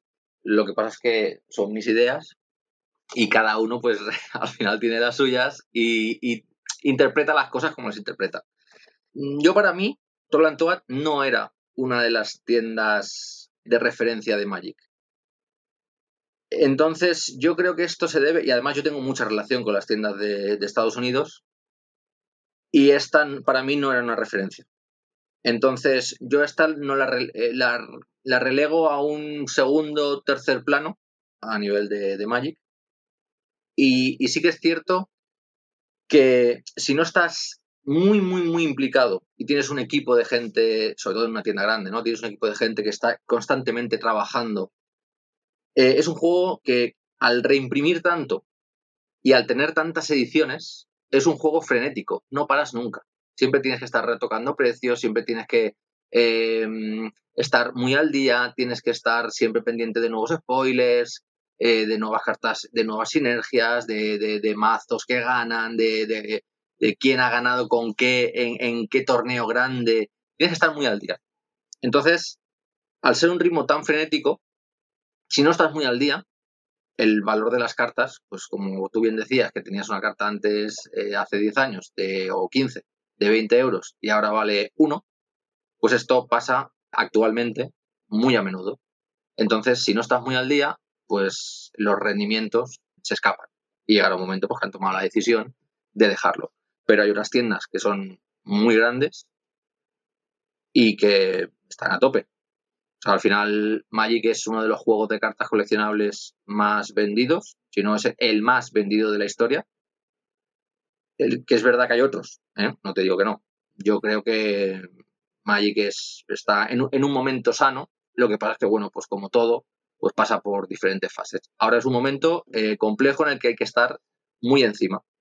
Y si esta gente no tenía dedicación, pues igual han preferido dejarlo. En lo que te preguntaba antes de mercados alcistas y bajistas, ahora, ¿dónde estaríamos? ¿Bajando? ¿Subiendo? A ver, creo que en general es eh, la situación global. Yo creo que es bajando. ¿Por qué digo global? Eh, es que aquí hay un, punto que creo que, toca a todo, ¿no? O sea, si tú ahora, por ejemplo, te pones a mirar eh, los rendimientos de la, del SP500, están bajando. Están bajando. ¿Pero por qué? Porque hay una situación global, pues hemos pasado de un COVID, guerra, otra guerra, y, esto no sé qué está pasando en el mundo, pero es una detrás de otra. Entonces, yo creo que al final todo esto resiente a, la gente al final, ¿no? Porque al final, si a ti te suben el pan, si te sube la leche, si te sube. Tienes menos poder adquisitivo. Si tienes menos poder adquisitivo, primero gastarás en las necesidades y luego en cosas que no son necesidades propiamente dichas. Y claro, Magic no es una necesidad, con lo cual, pues, eh, ¿está bajando? Sí, sí está bajando. O yo, o al menos la percepción que yo tengo y los números que ellos ponen, es que está bajando. Pero es que yo creo que todo está bajando. Bitcoin no. Bitcoin este año estamos muy bien. Vale, esa por el lado del apetito de Hasbro. Luego a mí me preocupan, lo mencionabas tú al principio, los falsificadores. Porque claro, es que esto es cartón. Si ya le pasan a los billetes y tienen eh, las leyes de, falsificación son durísimas para desincentivar la falsificación de billetes, claro, aquí estamos hablando de cartas. Estamos hablando de cartas que son como que, se utilizan como dinero eh, en ciertos momentos. Entonces, ¿qué hacemos con la falsificación? Es complicado. Y en los últimos años se ha complicado aún más. ¿Por qué? Porque Wizards utiliza una empresa que se llama Cartamundi para imprimir. Esta primero empezó con una fábrica, con su impresora industrial en Bélgica, y luego fue creciendo conforme, claro, cada vez querían vender más, más productos a más sitios, pues tenían que imprimir en más sitios, lógicamente. ¿Y qué pasa? Pues que pues abrieron una segunda fábrica, abrieron una tercera y hace unos cuatro años han abierto una cuarta en Japón. Yo no sé qué hacen los japoneses, pero las copias, eh, las impresiones de Japón son terribles. Y cuando digo terribles, es que como norma general, una persona pues que no se dedique a esto, pues eh, las cartas, bueno, son, es cartón y, todas le pueden parecer más o menos similares. Pero las cartas de Magic, igual que los billetes, una serie de características que las hacen distinguibles de cartas que no son originales, ¿no?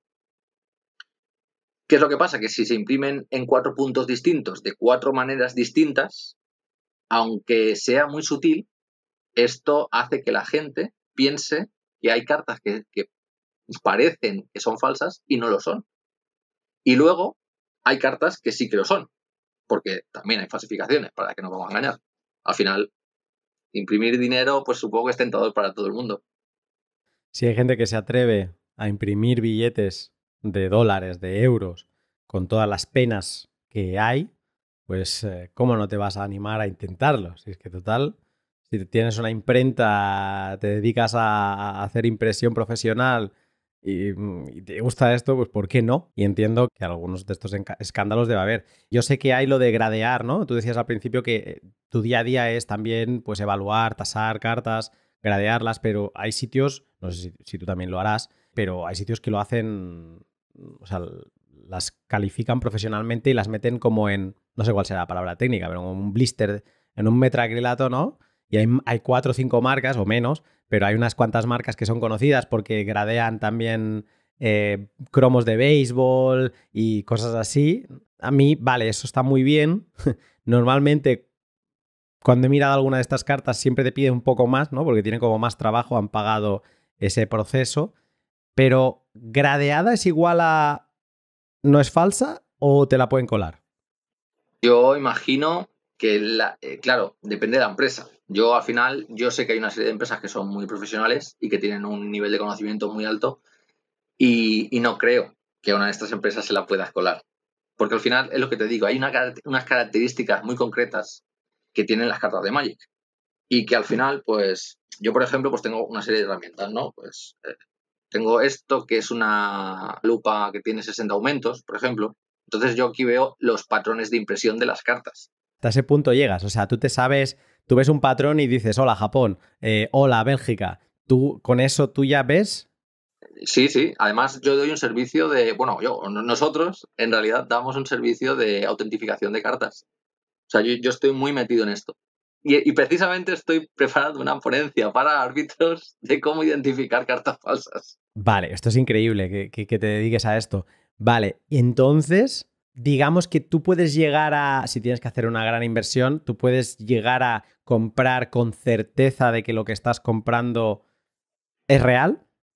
Mm, yo al final en esto, mm, claro, yo te diría, eh, si quieres la si no tienes conocimientos de cómo identificar este tipo de cartas, puedes hacer al final dos cosas. O una, eh, vas a una tienda especializada y le compras a una tienda especializada y sabes que te van a dar un buen servicio. O cuando hayas adquirido pues la carta que sea, pues vas a alguna tienda de estas especializada y autentificas que realmente es, es lo que tiene que ser. Claro, si compras a un, a un particular, eh, bueno, claro, tú imagínate que, que un, un, particular en eBay con 10 votos te pone un Black Lotus de alfa a 10.000 euros. pues no sé, primero, sospecha por el precio. Y luego, pues que igual lo que te llega a casa es cartón. Eh, cartón malo. O sea que también me lo estás poniendo un poco negro aquí, ¿eh? O sea, me estás dando miedo incluso yendo, o sea, oyendo por ciertos cauces puedes estar tranquilo. Sí, lo que te digo. Eh, a través de profesionales, pues te da cierta tranquilidad. Es verdad que pagarás más, que no encontrarás quizá un, chollo de esos que, uff, ostras, este es el chollo de mi vida. Eh, porque un, profesional sabe lo que tiene en las manos, pero es que sabe lo que tiene en las manos y sabe que es bueno. Estamos hablando ya que te tienes que plantear a largo plazo, si estás buscando una inversión de entrada y salida a largo plazo, porque vas a tener que recuperar, o sea, el premium que vas a pagar por esa certeza, la evaluación, etcétera, o sea, que vas a pagar por encima de mercado. Sí, o a ver, eh, claro, al final, en realidad hay pocas falsificaciones en el mercado. Para lo que es el juego y lo que vale, en realidad hay pocas. Como norma general, te diría que mm, dentro de un portal que te proteja, Pues, por ejemplo, en Magical Market, si tú compras una carta y luego resulta que la carta es falsa, el portal pondrá medios para que se te devuelva el dinero, para que... ¿Entiendes? Entonces, ¿tienes que buscar una protección? Sí. Pero el portal este de Magical Card Market no es, no es entre particulares, no es peer-to-peer, o sea, no... E, el, ponen...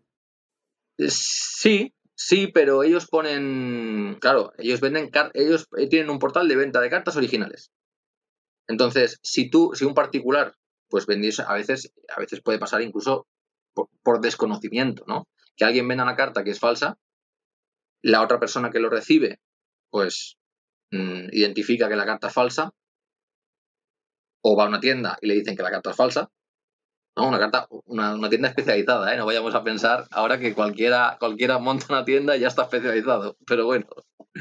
Eh, pues eh, tú le envías un, mensaje a Magic Market y le dices, oye, yo he comprado una, una carta auténtica y me ha llegado una falsificación. Pues esta gente pone, pone medios para que esto no ocurra.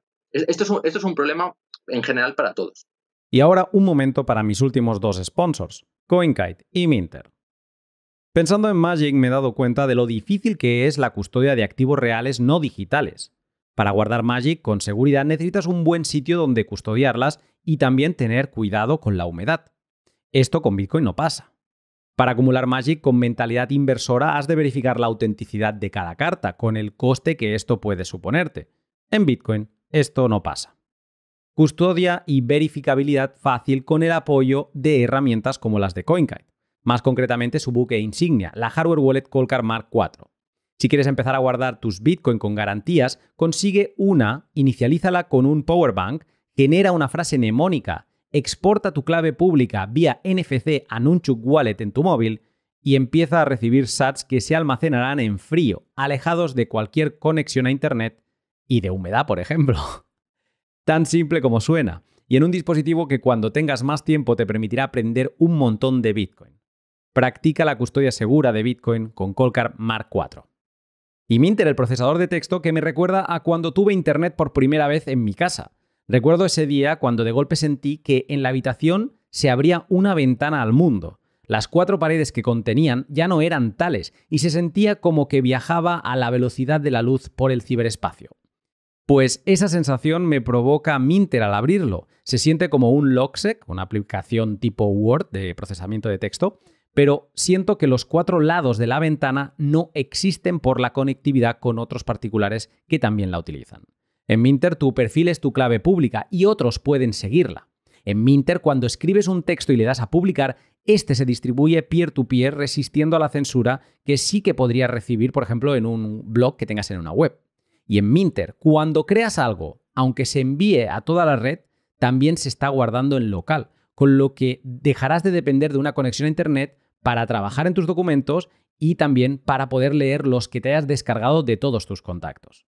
Podría estar horas hablando de las cosas que me gustan de Minter, pero te animo a que lo pruebes tú mismo siguiendo el link de la descripción. Ya verás que te encantará. En estas dudas, aquí lo que se va viendo es la naturaleza del activo. Y y aquí es nosotros que los bitcoins nos gusta analizarlo todo, analizamos también el oro y la inversión en oro y tal. Cada cosa tiene como sus ventajas y desventajas. Eh, aquí yo lo que veo es que, una, dependemos de un emisor central, que es Hasbro, que nos la puede jugar de alguna forma u otra. Yo creo que mm, ese tipo de coleccionista que te quiere comprar una carta del 1993 le va a dar igual que Hasbro esté emitiendo Black Lotus en 2024, por decirlo así, ¿no? Porque si viene buscando la carta original, eh, será la carta original. Es como cuando venden litografías que hay no sé cuántas, pero quieren comprar las del primer año, la primera edición, eso no va a cambiar. Pero aún así, bueno, sabes que hay un emisor central que te puede hacer jugadas que algo te puede impactar en el precio de lo que tienes. Eso por un lado. Y por otro, el coste de la verificación, que eso también lo tiene el oro que es, mm, depende de la cantidad de oro que estés comprando, mm, cuidadito, que mm, aquí te la pueden colar. Pues aquí en esto, si, estás, si vas a perder 100 euros en una carta falsificada, bueno, mala leche, son 100 euros. No, pero si estamos hablando ya de 10.000 euros, hostia, eh, hay cuidado, ¿no? Pero bueno, me queda más claro y entiendo, quien nos escucha pues no lo está viendo, pero me está enseñando ahí las herramientas y ojo, o sea, la gente que no se piense que esto es un juego de niños, que nada, que esto es como llevar a una juguetería y tal. No, no. Hay unos profesionales detrás. Y la última cosa que me preocupa, a diferencia de, por ejemplo, el oro, ¿no? Es que la conservación de las cartas. Claro, tú dices, venga, va, me compro esta, 5.000 euros en un trozo de cartón. ¿Cómo la conservas? O sea, ¿qué recomiendas en esto?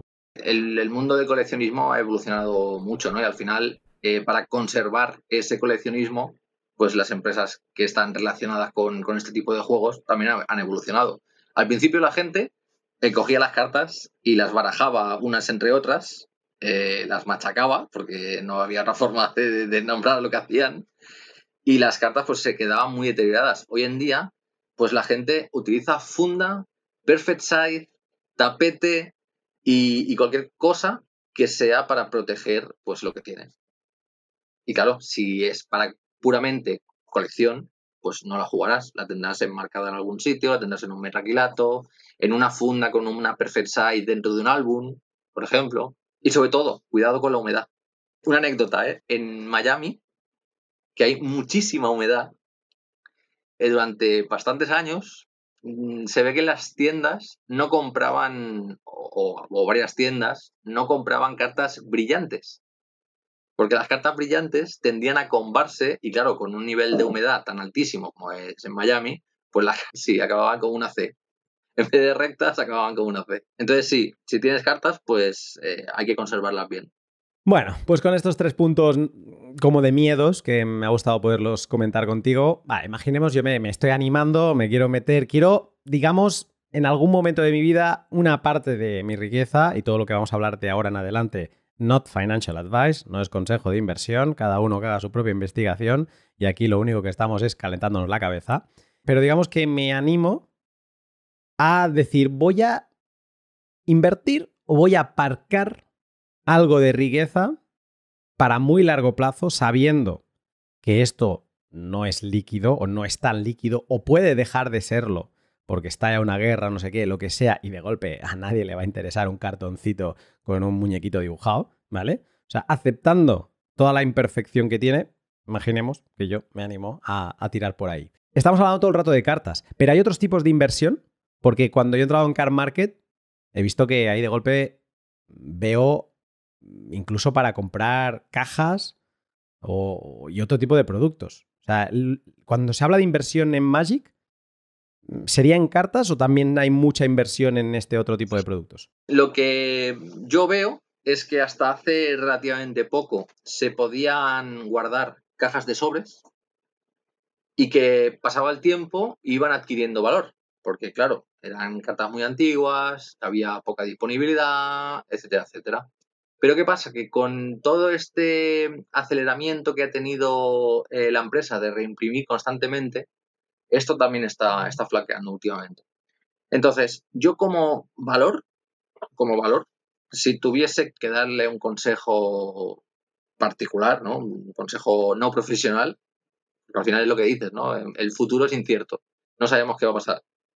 Pero yo viendo la tendencia, yo te diría, eh, si tienes que invertir en algo de Magic, intenta invertirlo en algo que sea de las primeras ediciones y en algo que esté en la reserva list. Creo que estos son como los que luego hay muchos matices. Depende de la carta, depende de lo que se juegue, porque eso también es muy importante. Si la carta se juega y está dentro de la lista de reservadas, esta carta generalmente tiene un valor alto. Y hay cartas que, hay muy pocas y que, tienen unos valores brutales simplemente porque se juega. Eh, es que está, me gusta esto que me dices, o sea, la idea esa de ahora como un loco, no sé, o sea, esta de Doctor Who, que tú digas, no, no, me voy a comprar cajas enteras de sobres y me las voy a guardar en un almacén porque esto de aquí 10 años va a valer mucho. Esto, quizá con algunas cajas de hace años, muy bien, pero con todo el boom que ha habido y con el apetito de Hasbro, eso no pinta muy bien, ¿no? creo que no es ese momento, no es el momento de, invertir en este tipo de, productos. Que esto además, alguna vez me lo he planteado, digo, si también tenía un podcast o no, pero yo no soy muy de esto y entonces me pilla un poco de refilón. Pero me he pasado a veces ratos, no sé si horas, pero ratos largos, viendo a los inversores que existen de Lego. ¿Has visto tú esto? Hostia, eh, no. es, algo que me pilla totalmente nuevo. O sea, Inversores de Lego. pues si puedes, busca por YouTube un poco y alucinarás. Hay gente cada año se compra de algunos sets de Lego cajas y cajas y de hecho te enseña, abren puertas de, de sus almacenes y son, bueno, almacenes que son sus casas, pero viven en casas grandes y demás, y tienen habitaciones que todo es Lego, todo, del suelo arriba. No puedes entrar, son cajas, tienen como estanterías, pero exagerado. Y ellos lo que están haciendo es, están comprando producto para vender a futuro, o sea, están acaparando producto para vender a futuro. Pero el problema, y yo creo que es un poco el mismo que, pasa aquí con Hasbro, es que Lego se ha vuelto loco en los últimos años y que lo que intentan replicar esa gente es lo que están viendo hoy que pasa con las cartas que se venden, o sea, con las cajas que se venden de alfa, de beta, de, de unlimited, de todas las que vienen después, que son brutalidades lo que vale. ¿Tienes en mente lo que puede costar una caja de sobres de alfa ahora mismo, si es que se vende alguna? Mm, no te sé decir un valor, pero vamos, te digo seguro que el valor en 15 años se ha multiplicado. Mucho. Como que están intentando replicar eso, ¿no? Eh, desde el presente, y lo mismo pasa con Lego, y ahí es donde es posible que estén mirando un momento con un stock muy escaso y ahora estamos en un momento donde se están emitiendo barbaridades por parte de Hasbro. Vale, perfecto. Pues teniéndolo claro que nos vamos o nos iríamos eh, después de haber hecho la investigación correspondiente a cartas individuales, si tuviéramos que tener en mente algunos ejemplos que nos puedan servir pues para que la gente se los pueda poner en su listita y los pueda ir revisando en unos meses, en unos años, en, en Car Market para ver si, oye, si apuntábamos bien, no apuntábamos bien. Eh, ¿Qué cartas le podríamos echar un ojo o tener en mente para eso? Para poder aparcar valor en cartas que no sean, que no fluctúen mucho, ¿vale? Que a lo mejor se aprecian, pero que lo que buscamos es, pues eso, ese activo portable que nos dé otras características, ¿no? Y yo te diría, no sé si me podrías hacer un poco una clasificación de cartas a tener en mente en función de la, de la demanda o de la facilidad que vas a tener de quitártelas de encima. Desde muy rápido a, pues a cosas que a lo mejor valga la pena tener, pero que nos vayamos a, a un largo plazo. O sea, corto, medio y largo plazo. ¿Qué podríamos tener en mente aquí? Pues mira, yo te diría que como corto plazo, a mí me vienen en mente ahora mismo las, las duals. Las duals eh, son las tierras estas de las que hablábamos un poco al principio, que son las que te dan de los dos colores. Están en Reviset, en Unlimited, en Alpha y en Beta. Las más baratas son las de Reviset y estas son las que creo que tienen el valor de coleccionista y el valor de jugabilidad. Entonces, en un buen estado, yo creo que son fácilmente, se mueven fácilmente. ¿Se pueden devaluar con el tiempo? Eh, un poquito, pero en general no va a ser un desgaste, si hay, no va a ser un desgaste muy grande. Y luego siempre hay en algún momento algún boom, como ha habido hasta ahora, en el que de golpe porrazo se multiplica el precio. Vale, o sea, estas serían en ese lado de fácil entrada, fácil salida, Incluso podrían servir, porque claro, aquí hablábamos de que hay mercados entre particulares, podrían servir estas para alguien que quiera testear el mercado, cómo funciona, si realmente es fácil vender, aunque pierdan, ¿no? O sea, podría ser una, una, buena entrada, ¿no? El intentar conseguirse una e intentar ponerla en el mercado y a ver qué pasa. Un underground sí, nunca defrauda. Que es una de estas duals. Correcto, es una de estas 10. Vale, y que para tengamos una idea de precio, estas que son de Revised, eh, ¿a qué precio estarían? Eh, pues em, en un estado bastante, bastante desgastado, pues más o menos estaríamos hablando de que las puedes adquirir por unos 400 euros. Desgastadas. En un ¿eh? Sí, muy desgastadas. Estas están, digamos, en, el peor, casi o peor o, o, casi peores de, los, de todos los estados que hay.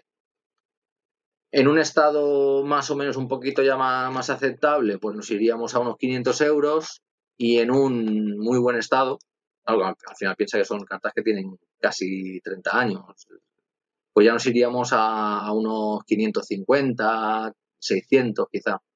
En una carta que dices que es jugable, ¿vale la pena comprarla con metraquilato o es un error? Si el, al final mm, depende, depende de lo que tú quieras hacer. Si lo que quieres es adquirir una carta y guardarla para largo tiempo, mm, se va a conservar mejor en un metaquilato. Si lo que quieres es tener un activo que en cualquier momento tú necesites, tengas una necesidad de venderlo y que más o menos te urja, automáticamente no la vas a vender. o muy, muy probablemente no, no va a ser el caso. Pero quizá que puedas en un lapso de un mes, pues colgar la carta en internet y que la y si la pones a un precio competitivo, eh, la carta la vendas en un lapso de tiempo corto, yo te diría que, que no, te, no la metieses en un metaquilato, no te gastases el dinero extra que, cuesta meterla en un metaquilato y simplemente que te la compres en un estado aceptable y que la intentes mantener en un sitio donde, por favor, no le, no le llegue el agua. Importante eso. Vale, eso por el lado de las del corto plazo. Estas, digamos que juegas mm, sobre seguro, ¿vale? ¿Habría alguna clasificación intermedia en que no sé si tú podrías, o sea, que no se fuera a largo plazo, ¿habría algo entre medio de unos pocos meses? Yo, así como concepto general, te diría que posiblemente el Power Nine. Las nueve cartas estas que, hablábamos, que son como las más poderosas, que serían el Black Lotus, los cinco Moxes, que hay uno de cada color, y luego pues está el, el Time Walk, el Ancestral Recall. Pero estos son unas buenas hostias, ¿no? Estos sí, sí, sí. ¿Y esto de cualquier edición o de alguna en concreto? Si es eh, como, eh, igual que antes, esto más o menos es, igual que antes. Si tú lo que quieres es luego poder venderla lo, más rápido posible, cómprate la edición más económica, que será mucho más fácil que al que conectes con alguien que te la quiera comprar. Porque tienes posibilidades de conectar con aquella persona que la quiere jugar, ¿no? A lo mejor, o sea... Correcto, eh, correcto. Mientras que no solo el valor de coleccionista, Vale. Mientras que las más caras, o sea, un Black Lotus de alfa perfecto, eso es coleccionismo puro. Claro, y esto, y esto es, em, además tiene un valor mucho más alto y sería mucho más, mucho más difícil conectar con alguien que realmente la quiera comprar a un precio al que tú estés dispuesto a venderla. Claro. Entonces estamos hablando de qué baremo de precios estamos aquí por carta. Pues eh, depende, te puedes ir, por ejemplo, una carta en un estado. Mira, vamos a poner, por ejemplo, un Ancestral Recal. Eh, pues te podrías ir eh, a comprar una carta en unos eh, 4.000 euros, más o menos, en un estado aceptable. Que no sea el mejor de los estados, pero que sea un estado en el que pues, la carta haya sido jugada, pero siga manteniendo un aspecto bastante bueno. Vale. Vale, o sea que estamos ya en ese nivel de precio. Hemos pasado de unos 600, 500, em, le hemos puesto un cero por la derecha. Sí. Vale. Sí, sí, es que Magic. Esto Power 9. Estamos en. Me sorprende lo de que el Black Lotus también se mueva en, ese margen intermedio de 4, 5, 6 meses. O sea, se, mueven, pero. Mm, digamos en estas ediciones económicas. Cuesta más. Bueno, claro, al final eh, ten en cuenta que no es lo mismo hacer un desembolso de una carta de 500, de 600 euros que de una carta de, de 3.000 o de 4.000. Eh, si cuesta más, pues es lógico que también eh, tardes más en, en, conectar con alguien que esté dispuesto a pagar ese precio. Vale, y si ya ha salido a pasear el Black Lotus en la escala intermedia, ¿habría algo interesante a más largo plazo o eso ni existe? Bueno, mira, a más largo plazo eh, adquiere cartas de alfa y de beta. Esto es como pues, un, valor que es que son las primeras ediciones de Magic. Es que, como comprar tierra. Sí, mira, en realidad prácticamente podrías comprar cualquier cosa que fuese de alfa y de beta. No te tienes que ir al rango de comprarte un Black Lotus. Te puedes comprar pues eh, de tierras básicas a cualquier carta en este, sobre todo lo del Estado, yo, para mí es, es importante, porque creo que la persona que está dispuesta a gastarse cierto dinero en una carta, prefiere gastarse el dinero en una carta que esté en buen estado, aunque sea un poquito más, que en una carta en mal estado. Sin embargo, para jugar puede ser que te dé un poco más igual. Entonces, aquí también esto creo que es un, un factor que hay que tenerlo en cuenta. Quizá pues para alguien que solo la quiere jugar, que le da igual en qué estado esté, pues igual una carta que esté pues lavada en la lavadora, pues ya le vale. Interesante, o sea que sería buena idea cruzar alfa y beta con reserve list o en verdad en este escalafón cualquier alfa y beta ya está. Em, bueno, eh, al final yo creo que alfa y beta no van a perder valor nunca, porque da igual lo que reimpriman la, cualquier carta, que al final el valor que tiene esa carta no es un valor por lo que se juega, es un valor porque es de las dos primeras ediciones de Magic y eso tiene un, peso. Perfecto. Bueno, pondré en la descripción el link de tu tienda por si a alguien, no sé, le interesa pasarse, echar un vistazo. Si quiere comprar duals. si quiere comprar duals, que te escriba. A lo mejor te envío yo un mensaje privado luego. Eh, pero aparte de esto, una de las cosas que, mm, que el Bitcoiner le puede interesar es decir, bueno, pero hay algún sitio, que esto por ejemplo con oro y plata lo tenemos, ¿hay algún sitio donde yo pueda comprar este tipo de cartas por Bitcoin?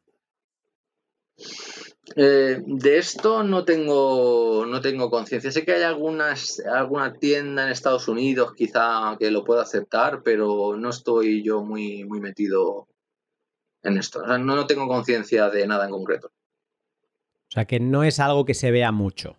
Quizás si, igual si estás más metido en el mundo del Magic y en el mundo de Bitcoin, igual en algún momento ves algo que dices, anda, mira, pues sí, aquí también, pero en, mi caso no, no lo he, no, si, lo he visto no le he prestado atención. Es curioso porque Bitcoin, la, la gran adopción de Bitcoin empezó con un exchange, con una casa de compra que hizo las cosas fáciles a la gente que quería comprar Bitcoin, hasta entonces era muy complicado, que se llamaba MTG o X, MTG Gox, ¿no? o Mount Gox, luego se le renombró, pero las siglas eran de Magic the Gathering Online Exchange, la X de Exchange. Y era una web que, si Bitcoin arrancó en 2009, esta web ya existía de antes. Y se dedicaba, estaba con sede en Japón, y se dedicaba al trading de cartas de Magic, como podría ser Car Market hoy en día. Lo que pasa que luego empezó a vender también Bitcoin, que por eso mucha gente dice, hostia, es que comprar Bitcoin en Mangox era como pegarse un tiro en el pie, porque como que no estaba preparado para comprar Bitcoin. Es que no era una web de Bitcoin, luego se fue adaptando porque ahí es donde ganó el volumen y la atracción, ¿no? Pero hay una historia entre Magic y Bitcoin, hay varios puntos de conexión estado leyendo incluso artículos de gente que correlaciona los mercados y los picos de Bitcoin con Magic como si hubiera gente que cuando nota que el precio de Bitcoin se calienta hace unas salidas a Magic y, entonces los precios de Magic se inflan, ¿vale? Ya, te lo pasaré. Pero eh, es muy curioso cómo hay diferentes momentos de conexión en la historia de, al menos de Bitcoin, que es más corta, desde 2009, que este, este año que viene pues hará 15 eh, años, ¿no? Que, que está, entonces es como la mitad de la edad que tiene Magic si alguien le ha picado el gusanillo escuchándote, aparte de ir a curiosear en tu tienda, que tienes un, pues no sé cuántos productos tienes ahora mismo en la, tienda, ayer lo vi y... Colgados, 130.000. 130.000 cartas sueltas. Y luego tenemos otros productos, tenemos cajas, tenemos sobres, tenemos... Dios. Pues aparte de curiosear, si alguien se quisiera dejar caer por la madriguera de Magic the Gathering, ¿le recomendarías algún recurso online donde seguirse informando o investigando? Eh, ¿A qué nivel? ¿A nivel de finanzas? ¿A nivel de, de aprender a jugar? ¿A nivel...? Uno y uno. El que se deja caer por el lado del juego y el que dice, mira, quiero tener control, por ejemplo, de lo que está pasando en la reserve list en cuanto a precio o cosas por el estilo. A ver, eh, hay creo que varios recursos lo que pasa es que creo que no hay ninguno en concreto que sea eh, la meca, ¿no? O sea, yo te diría, por ejemplo, que mtgstocks.com es una buena referencia de cómo van los precios en Estados Unidos, porque además, eh, yo, por ejemplo, miro a diario que ellos tienen como si fuese la bolsa, ¿no? De las cartas que van subiendo y van bajando y te van, y te van apareciendo una, una y otra y te dicen, mira, esta ha bajado un 23%, esta ha subido un... Entonces, de alguna manera, a nivel de precios, pues esto puede ser una referencia. Pero claro, es una referencia para el mercado estadounidense. No es que al final es cierto que luego tiene impacto en el mercado europeo. Porque claro, si una carta de golpe porrazo en Estados Unidos eh, sube mucho de precio, pues eh, claro, eh, si en, Europa está mucho más barata, pues la gente la, la comprará en Europa y la enviará a Estados Unidos. Y esto también ocurre al revés. que por eso no lo hemos comentado, pero entiendo que si quieres tener muchas posibilidades de venta, cartas en inglés, ¿no? Porque también hay cartas en español, en japonés y tal. Hay, en muchos idiomas. Incluso eh, ha habido épocas en las que había pues como idiomas como que eran como más cotizados, ¿no? Porque había menos. Pero hoy en día eh, es el inglés. El inglés es, el, idioma. Es, el idioma que hay que buscar. Eh, cualquier otro idioma mm, tiene menos, menos mercado. Vale. MTG, MTG Stocks, ese es uno. Por ejemplo, sí. Luego, pues, como referencia, pues quizá también puedes tener en cuenta, eh, eh, eh, Magic Market también tiene una serie de listados de tendencias y cosas así, pero personalmente creo que deja mucho que desear el, sistema tal y como lo tienen expuesto o tal y como lo tienen montado, mm, no sé. Bueno, dejaremos que la gente investigue. También preparando el pod he visto hay muchos canales de YouTube, o sea que cada uno tiene para ir encontrando los que más le gusten en inglés, en español. Información hay a raudales, lo que también demuestra que esto está bastante vivo y que bueno, que hay una tradición que está ahí y, que se ve en este tipo de, de canales. Jorge, te he robado casi dos horas. Muchísimas gracias. Y nada, mm, no sé, a lo mejor en algún momento te escribo. Bien, que sea para comprar. claro que sí, porque, eh, o sea, Magic lo tiene fácil conmigo porque el, por nostalgia me tienen medio comprado ya, ¿no? Eso, vende, ¿eh? la, nostalgia. No, no, es increíble. Ya se está viendo cómo están haciendo reediciones de la PlayStation 1, de la Nintendo, la, la inicial, ¿no? O sea, esto es la nostalgia vende, pero bueno, en este camino por entender lo que es el dinero eh, por entender cómo funcionan los coleccionables, cómo a veces utilizamos cosas como sustitutos del dinero, pues me ha encantado recuperar eh, este capítulo que fue importante para mí en mi vida, me lo pasé muy bien, que es Magic the Gathering y que me hayas ayudado a entenderlo. Jorge, muchas gracias, estamos en contacto. A ti. Gracias, Luna.